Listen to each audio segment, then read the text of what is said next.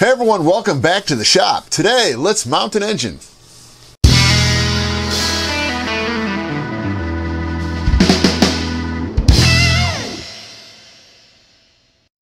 Okay, uh, the wings are done uh, until the servos come in, and that's going to be tomorrow, the 6th of January. It'll be a Monday.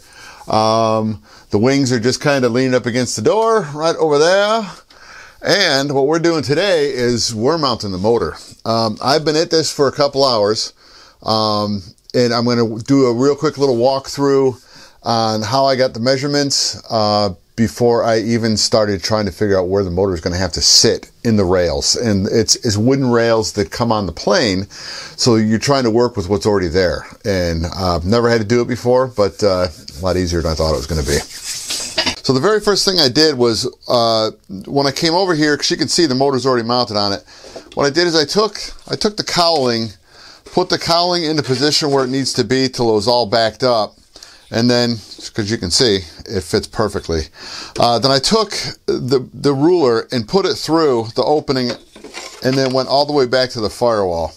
So what I did was I just pretty much ran it in like this. When it bumped the firewall, then I just done, went and looked at it, and I, I looked at it, you know, through the metric system. It was 166 uh, millimeters. So what I ended up doing with that um, was I came in up here on the top.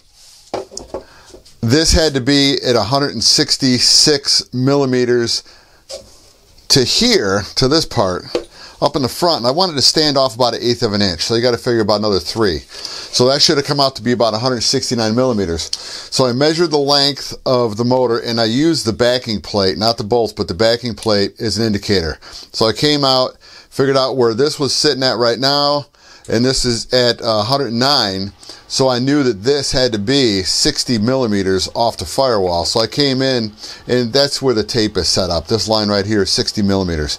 So seeing that I had these numbers in here, in theory, yeah, sometimes theory works. This should be in in the proper location, sticking out, so that way we won't have to make any adjustments on it. So when I came in just a short time ago, slid this up into place where it's going to line up on center because that's where the center is going to be when you put the screws in. And when you look at that, you probably won't be able to see it from there.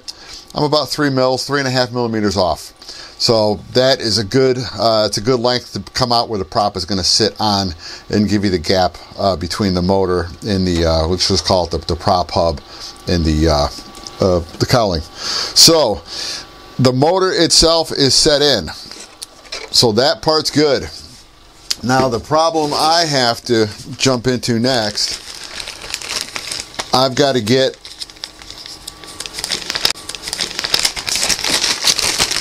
I've got to get the Pitts muffler put on. So what I'm going to have to do is figure out, I'll, I got to cut some more of that cheek away because I had to cut some off on the one side you saw on to the GoPro.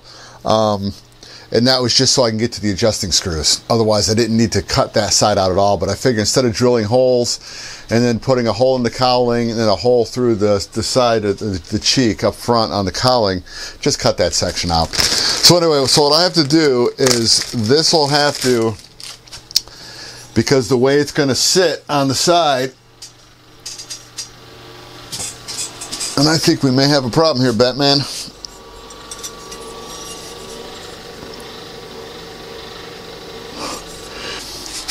Going to come in on this side like this, so I'm going to have to do is remove a good portion of this, enough to give us clearance on the top up here, um, and then be able to run through with the bolts and see. So this is the uh, this is the last remaining hurdle for the motor. So what I'll probably do is I'm going to have to come in and pretty much cut this out from about here from about here across and then we'll loop it down just so that, that this can come on and off and it's not going to get in the way of uh, where it's going to be a pain to get the motor out where you've got to take this off first to try to drop the motor down. So I'm, we're just going to go ahead and we're just going to cut out what we need to.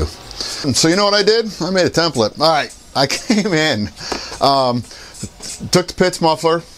I went ahead and, sorry about that, put it put it on a piece of cardboard, traced it out, and then I expanded it by almost another quarter inch around the outside. So you can see the inside figure it here where I traced it, made it a little bit bigger, so that way it gives me plenty of room for this to get in. And because we've got heat very close to balsa, you know what I'm saying. So anyway, so I had to go ahead. I, I measured the holes out, punched them through. That's where the bolts will come through here. So that way I've got another place from which to measure. So you can see I drew everything up. So I've got my cross pattern. Now, back over to the fuselage. Okay, so let me go ahead and show you. Because I showed it to you once, but the record button wasn't on. So anyway, let me show you what I had to do. So I came on in, and wherever I did with the template, there we go. I took the motor, flipped the motor upside down, traced around the outside of it, and then what I did is I, I, I went around it and added almost another quarter inch. So I just I increased the size of the footprint that this is going to leave on it. While it was sitting up on top here, I went through, poked some holes in it so I've got good indication of where this line is. Then up here on the fuselage, sorry about that, up here on the fuselage, uh, I came across this top line was the top of the exhaust port. This line right here was the measurement down for the bolt hole from the top of the exhaust port. Yeah, I, am getting a little bit crazy with this. So anyway, uh, from there, I went ahead and got this lined up because you can see I've got some marks drawn on it. So once I get these lines marked up, I just went around the outside and just traced it. And then this piece here, I terminated off early, so this will come cut in here and then go up. I mean, I can come straight across if I wanted to, and I may, um, just to get away from anywhere, and I probably will, from where the throttle is. I'll bring it up high. Uh, and then it's going to sweep down around the back. Right now, I've got this coming straight down. The way that this pipe, the pipe is going to go on, let me see if I can get it lined up relatively nice. And we'll find out later on. As you can see, there's going to be interference between the tips, the down pipes, and this part of the front of the fuselage. That's the part of the firewall. So what we'll do is when I get everything on there and see how it wants to fit, if I just come in here with the Dremel tool or whatever and just grind a section of this out just for this to go in place, that'll be fine because all of this, all the way up to the landing gear, the leading edge of the landing gear, is covered by the cowling. So when this goes on anyway, what I'm going to be doing is this part here. It's a C-shape that's going to get cut out.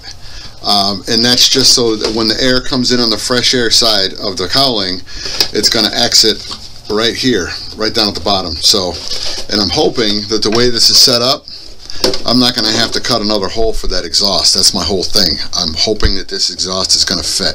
Doubtful, but I think it's going to fit. Maybe. Okay, we've got the cutout had a little blast out of uh, balsa on the inside. And even though, yes, I did say it was non-structural, it is going to have a little bit of structure to it with this little piece of, it's not even eighth inch balsa. It's probably like, uh, I don't know, 330 seconds balsa. So what I'm going to do is before this thing get, ever gets started up, I'm going to come in with some, probably a couple strips of quarter ply. Just come in here and uh, just put some L brackets on the inside and then uh, I can screw them from the inside of the firewall out and from the top down. So we'll glue it and screw it and uh, that'll add any extra support that we may have lost because I can bring these from about here here all the way on out to the outside so they can be uh, so there'll be something in here just to help just just to help Here's how it's going to come on, and it is standing a little bit proud, so I think it's going to end up bumping the cowling. So if we have to open up a little bit of the side, we have to. We don't have a choice. Um, so I went ahead, and you can see I already kind of just scratched in where I'm going to have to remove material, and it's not going to be a whole heck of a lot. So uh, so I'll just go in. I probably won't have to come all the way back to this line, but I'll just come in with the Dremel and, and a little little grindy thing. And uh, get some of this stuff buzzed out and I'll bring it back as soon as that gets uh, as soon as I can screw that on. All right I kind of jumped ahead on doing the cowling mount uh, so you guys didn't see this part of it. Down here on the bottom, you can see where I, I had to do the relief cutout just for the downpipes for the exhaust. This will probably be opened up more, but I needed to go ahead and cut this out to slide it back far enough so that we can get the part of the muffler that we're going to have to cut a little teeny hole in here because I don't know if you can see it. You get in close. If you can see the little crack in the fiberglass right there, that's where the front bolt, the front mounting bolt is. I can't feel the back one, so the back one should be fine and it'll be right about in this location. I'm going to start this off small. I can always make it bigger. It's a lot harder to make it smaller.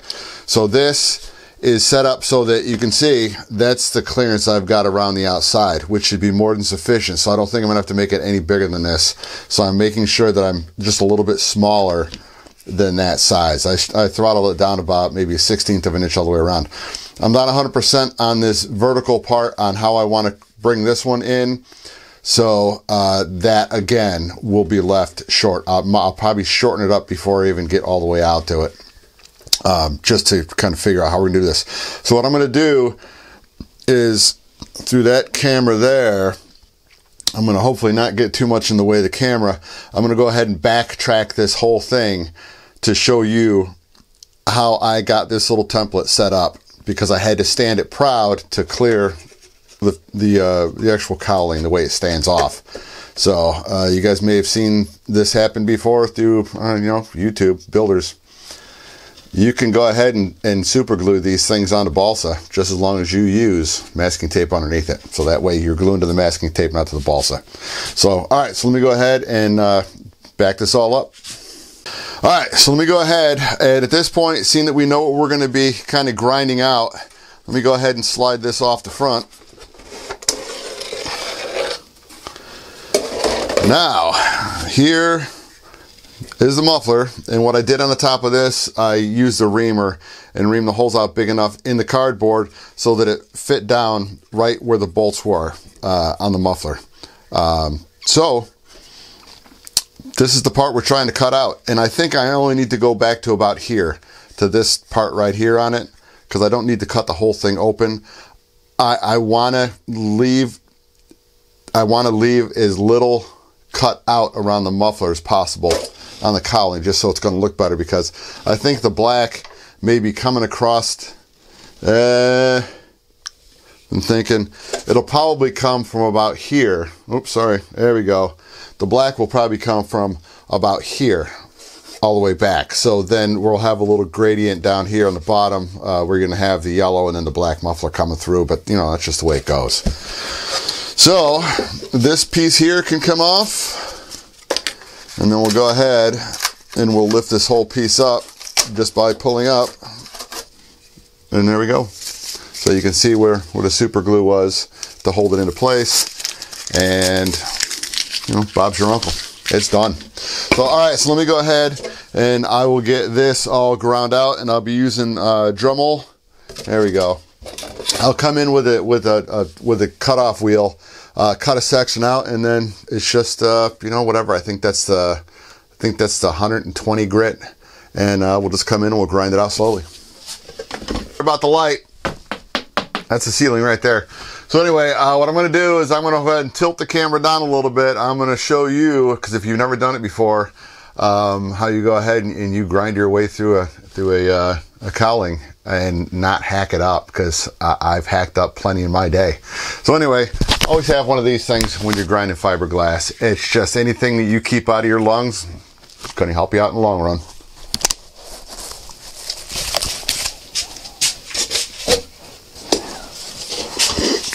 There we go.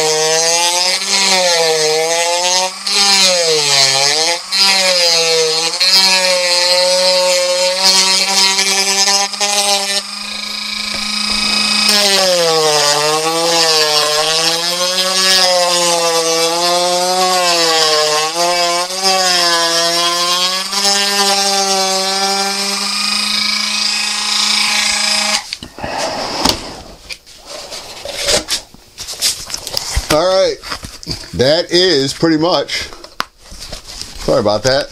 That's pretty much how you do it. And what you want to do is you want to get close to the line. You don't want to cut the line. Um, the little fuzzies on the inside, what I'll do is when it's all finalized, so you can see me, there we go. Um, when it's all, sorry about that, I'm probably hitting my mic. Let me get this off. I probably was hitting the mic. So anyway, all right. So that's pretty much how you do it. It's relatively easy. Uh, when you come in, um, try not to hit the your tape lines. Um, always leave a little bit there because once again, it's always easier to take more off than add more on. Uh, the little fuzzies on the inside that you can see.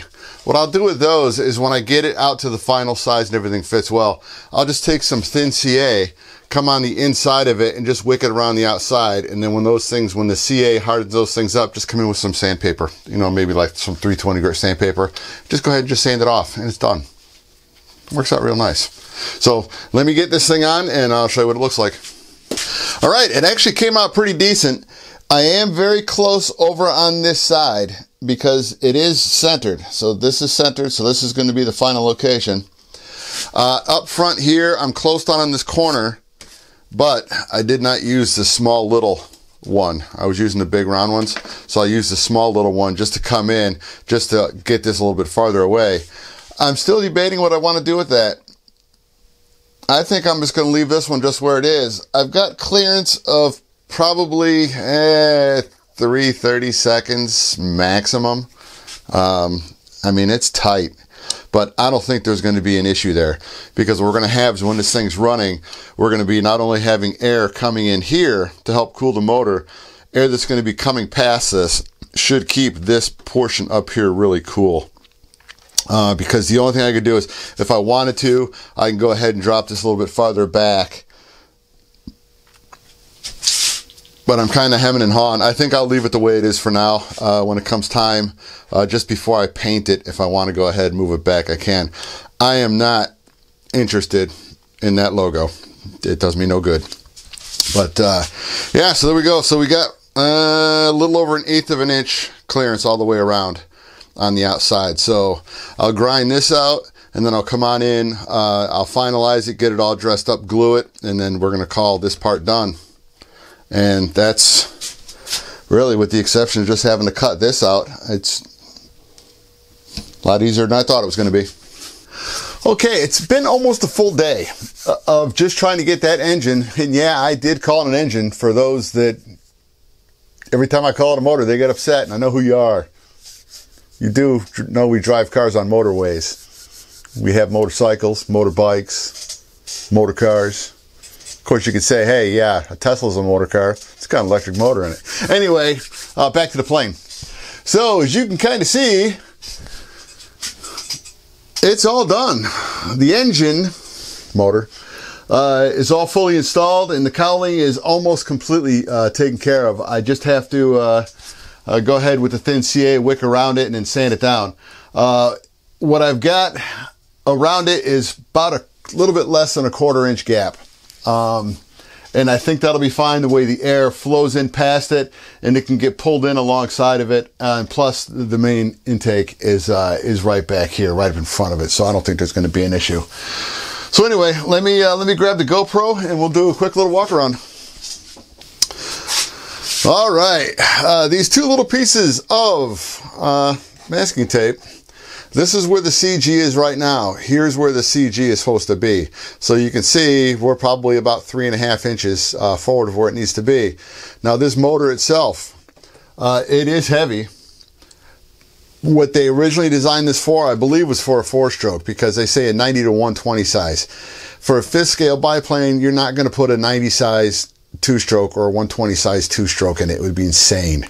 So I'm hoping that they were working around uh, uh, 90 120 size four stroke, which is pretty darn near close to the weight of that thing. So so it, the whole plane may be designed around it.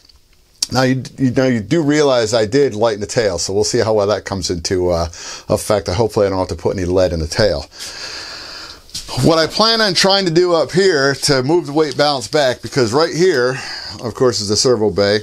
I want to see if I can mount this fuel tank in sideways because the way it's set up, it's right in the middle. I can do it. So if I can get this set up so it's sitting sideways, I think I can come down here, build a shelf right above the right above the wing, um, and then have this slide in and mount it on top of it. It's going to be a pain in the butt getting it in and out, but if I put some screws or some attachments or something on this shelf, I could put two little strips down here and then just put screws down from the top down along the inside. So I may have to do that for this. I haven't I haven't got to that point yet. For the power, I got one of these little things. It's a miracle switch, and uh, I've never had one fail, so I can't say that it's a miracle if it works. You can see that this will fit, and it will fit in that slot real nice. It does hang down a little bit lower than this part, but the way this piece slides in, it should sit. Let's see if I can do it. Just to get it started. It will sit proud of that. So if I can get it set up so you can still slide it in and have it sit like this, um, we'll be good on that. So I'm going to make a template for this because that's what I do. And then see how well it's going to line up here and what I'm going to have to cut out. It, eh, the, the thing is, it's not that this is going to be the hard part. There's foam all up inside there. So I'll have to come in and uh, get rid of the foam. I may come in and do it with a uh, soldering iron. Um, just so that way I'm going to make less mess when I make the initial cut and then just try to take it out in chunks. Um, I just need it up here on this top piece. Uh, the rest can stay. So that's probably what will happen with that. Now, with the motor, here's what I was talking about. We've got that gap. I've got to do a little bit of a cleanup still. Uh, so, but with all the, even though this part here is tight, if I've got to cut it back a little bit more, I will. It's not touching, but I may have to go ahead and bring this down a little bit more and then bring it down this way. So, uh, so if I do have to cut this farther back, we'll see how it goes. All right, up front, uh, here is your, sorry about that, here's your choke levers. So you kick it down, get it to pop and then just come and reach in, pop with your thumb and then go ahead and start it. You're good to go. I had to make this little cutout for the carb and I didn't want to make it any bigger than it is because the opening to the carb is right behind it. So I don't want a whole lot of air flowing past it. So um, that's just to make room uh, in the front so that the cowling can fit on right. Now what I did with the cowling, and I'll show you, and I'll show you why I did it first. If you can see how it stands proud, how there's just slightly standoff, um, it gives it for a better rounder structure all the way uh, around the top of the cowling because it's going to be held together with these little screws right here. So what I did was I took some 16th balsa, got it wet, and came over and just glued it into place. So I put some thick CA behind it, and I had a piece of green tape right along this edge here so I knew how to get it properly lined up. Um, just put it on there, started with my starting point, went to the other side, and then just held it. And then as soon as it started sticking, hit it with some kicker. So and then I just come in with some thin CA to go ahead and stiffen up the wood. And uh, we should be good with that one. So anyway, I think we can call this a video. Um, I've still got a lot of little fudging to do uh, just to get to the next point because I know how I pretty much want to run my throttle cable through because the way it's kind of come in, it's probably going to have to snake its way through just because of where it comes out. Um, so what I may do is I do have some stainless steel cable uh, down below. I've got like a 500 foot roll of it and I do have some uh, some old antenna line, the yellow antenna line or the clear stuff that it slides through. It's a perfect fit, slides right through. So I'll probably set that up so it's the push pull for the throttle is going to be uh, on that stuff, and then uh, yeah, so it's just the uh, what to do with the fuel tank, and uh, that's pretty much the hardest part about what I got to do on the inside. And before I go. I did dig into my stash of carbon fiber. And this is the thin carbon fiber tube. It's, uh, I can measure it. I mean, I can get you a measurement on it. It's probably about a hundred thousandths. It's probably like, at the most, maybe three mil. Um, so, and that's tubing. So I can go ahead and make the push pull, uh, um, for the ailerons, for the connector rod from the top to the bottom. So that's what this is going to be made out of. I'll use this and then some brass, and I'll show you how I do that when the time comes, which is not going to be for probably several weeks anyway. So, so anyway, that's about it. So let's just call this a video, and I'll see you guys next time I'm down in the shop.